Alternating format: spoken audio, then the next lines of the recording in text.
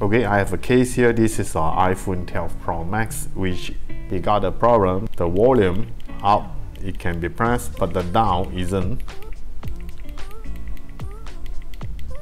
So up has no problem. And the mute button is working. Side button is working well. Only this button, okay, the lower button doesn't work. So let's see what's going on. I noticed the board is been repaired before. Hey, the shield is gone. We are not the first hand who repaired. So in this case, I don't think the flex is the problem. The power button, the volume button flex in here, up down and the mute switch, also the side button, they are all go to this connector.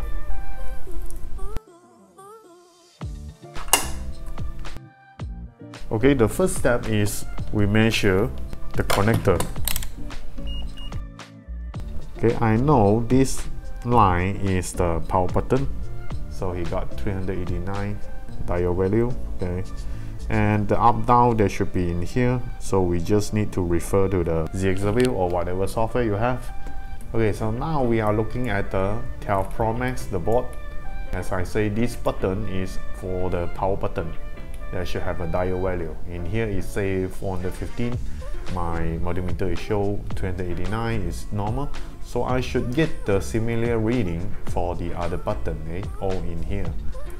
This button is say IO volume down, okay? button volume down. So this one is responsible for the volume down. So the other is working, I don't need to check. This one ringer, the mute. This one is a volume up, so I straight away to check this line. Okay, it is OL. Yep, this line is disconnected. I believe this line, one of the component before this line is broken. Okay, this one. It say FL10142, but as we know, the FL is not designed like this. They just name it whatever they think is suitable because this label FL is doesn't come from the Apple schematic. Okay? It is named by the third party. So actually this part is a EMI filter and a ESD protector. So the other side and to here they are disconnected. This part is quite common happen when we are repairing, you know. So from what I see, yep, I see there's a little dent in this area, okay, in this part. Yep, there's a crack on there. So this is why this line is disconnected. It should bringing in the value to here. We have two options First option is to replace it. Second option, if you want the easy money, we just jump it. So let's take this guy out first. Weapons activated.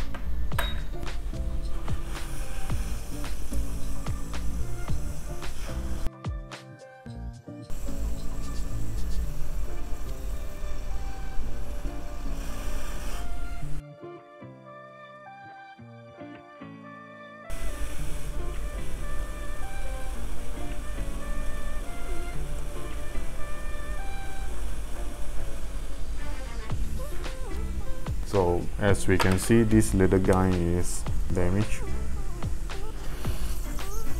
So.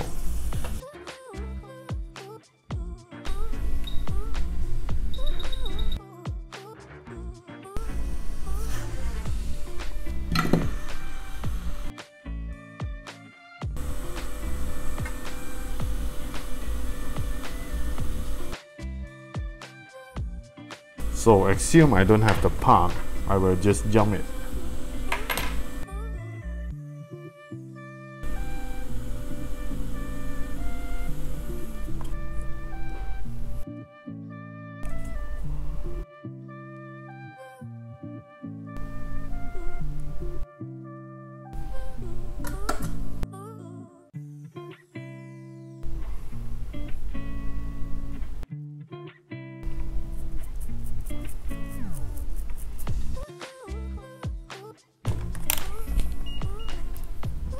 The diode value? Okay 336 mm. okay. They all should have a similar value. Okay.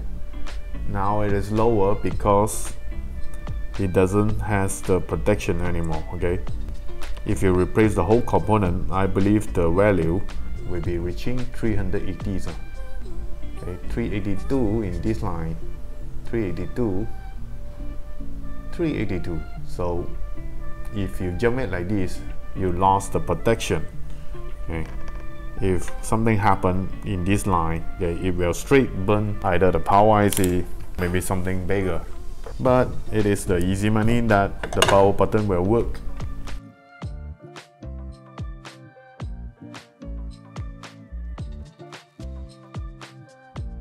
okay let's do the button test.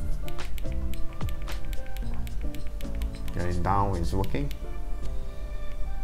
Okay no problem anymore. Up down.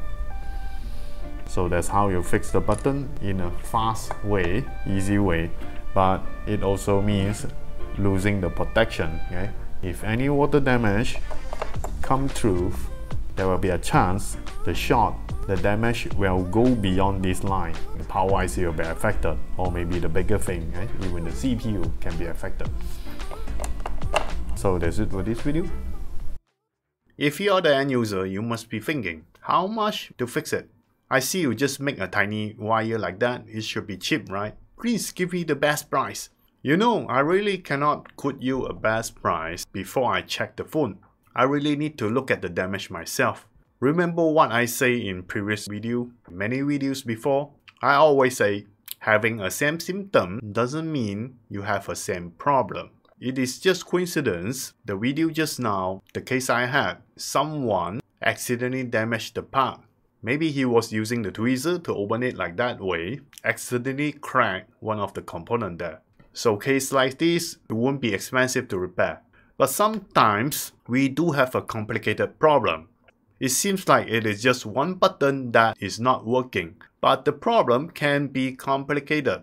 Following video is to show you why some cases I will charge a lot higher. The following video is the iPhone 11. Let me show you the board design. You know from iPhone 10 onward, the motherboard can be separate into the upper board and the lower board. Two sections. Some models, the button is connected to the lower board. Exactly in iPhone 11, the connector of here. We can see the power key this is the power button. He is connecting to the lower board of here and go through the same component I have on earlier of the video. The line still need go back to the CPU. So on lower board here, there's no CPU. So he will be passing to this board connection of the frame, interposer, whatever you call it. I call it frame. And then he's back to the upper board here and then to the power IC. In the power IC, there will be another line back to the CPU. He will instruct the CPU to click the power button. So just because of the design problem, it can be complicated. So the case I'm going to show you in the next one, of course it is not the flex problem. When we are sure it is the motherboard problem, we will measure from the connector here. When I measure it, I see there's a value, nothing wrong. Uh, even this component is not cracked, nothing wrong. So I have no choice to dismantle the layer to check only the top board, whether this board is it still working. I just need to trigger this line to know whether the power button is it still working. So I found it is working, then the problem is on the lower board here. Guess what? Why not I just show you the video directly? Wait, I have a case here. This is an iPhone 11 that power button cannot be pressed. So after I dismantle the board, I found out this line. Okay. 441. The next one, 440. Actually, they are accidentally linked together. See, these two dots somehow they are shot together okay. So these two dot one of it is power button this one. This one is NFC okay so let's measure another board. The same location. Okay here. OL and here 440 if I touch them together OL they are not together. So let's look at the ZXW okay from the power button here actually it goes to this and then to here. This is the place I measure. It's supposed to be OL in here but I get the value and these two dots they are somehow shot together. Let's confirm again. Yes. So it will be either below this dot beneath the frame they are shot together okay? This is what I call the frame issue right these golden things. The whole frame is shot. As you can see I already have removed the IC the NFC IC and I'm going to measure the same dot which is here and to here. See this dot belong to here but the next one yep even the next one they are still short even after I remove the IC so I have two options to repair it. One is I can transplant the IC the baseband CPU, Wi-Fi, NFC to the new board. Or I can just fix the specific dot okay? The dot that gets shot so I prefer to save the budget by fixing the specific dot. Okay this one is short to the power button. So all I need to do is dig. I cut it underneath the dot that connect to the frame. And I manually jump from here. Go to there. So I begin.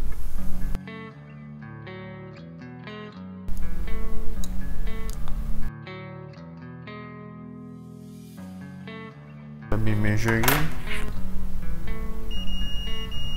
still short okay I just keep digging. So then I will put UV to block the connection and put back the dot and then jump to here.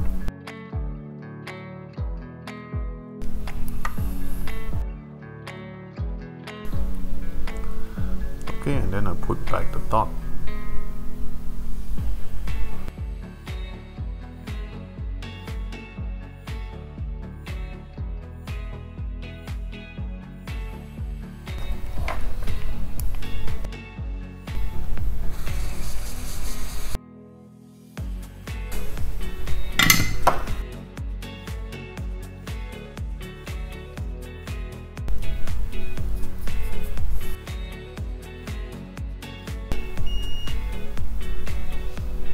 okay they are not together anymore. There should be OL for now. Okay, both of them. Okay, OL in here OL in here. Ground. Okay it's normal. Until I jump it and put back the IC it will have the value. So I will check between the power button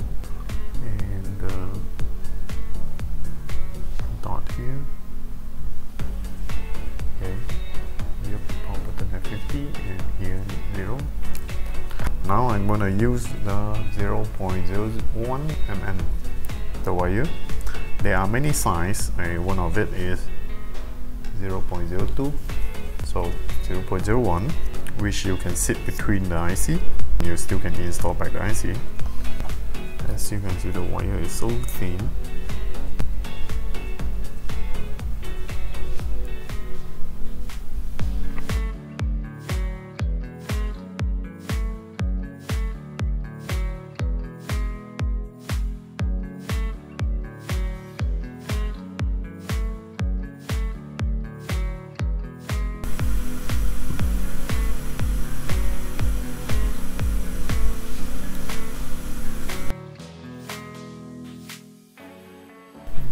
just to hold it. Put the UV first.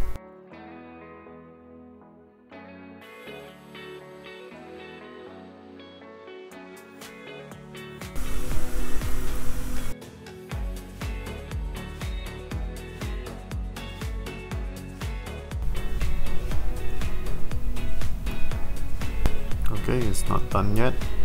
We still need to disconnect this dot from the layer. Doing the same thing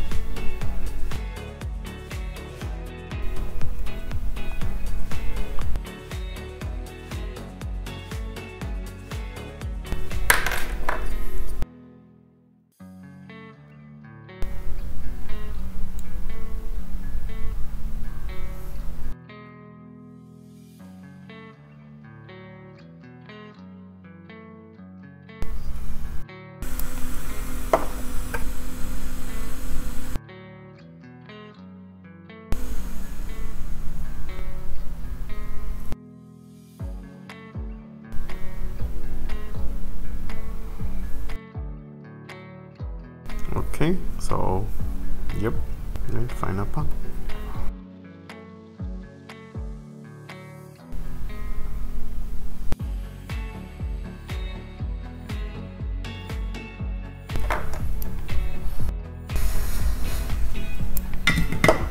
okay it's done so let's measure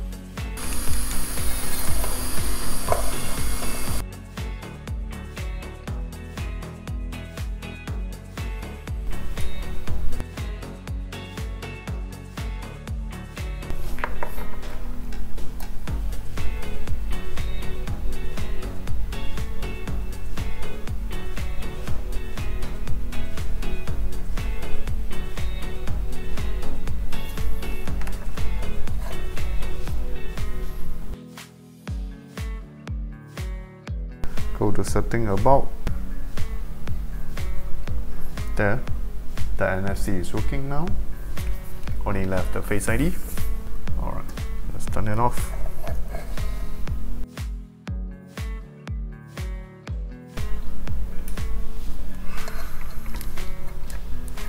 The pin that I repaired it should have the value of one side. Now this pin should have the value 449, 448 and this pin should be OL this is from the on off button. Yep now they are not connected to each other. Yep let's reboot so as you can see the repair can be that complicated. Not only we need to dismantle the upper board and lower board we need to create a custom solution. And even before that it takes time to locate the actual problem. If to some of the technician they might give up already maybe they could you a very expensive price to replace the whole board. So now, as an end user, you should understand when I say I need time to check the phone, you give us the time. Not only me, the guys who can repair the motherboard, if they tell you they need time to check the board, give them the time. Because a real professional, they will check what's wrong with the motherboard first. Because in this point, I assume you already have local technician to check and then they told you it is a motherboard problem. So when you are looking for the motherboard specialist, you don't just show them the video and tell them, yeah, you just make the tiny jumper like this, my phone will be working. Please don't do that. This video is just to show you it could be many reasons, it could be complicated. Sometimes our money is not that easy. And also to my own students, I need to show you just because of the sandwich board the design problem, you might have such of issue. It's not happen on the power button. Hey, it might be the line of the baseband. Remember, I have taught you the measurement technique. Hey? If you have absorbed my lesson very well, you should know how to measure to locate this kind of problem very quickly. So I guess that's it for this video and I see you on the next one. Bye.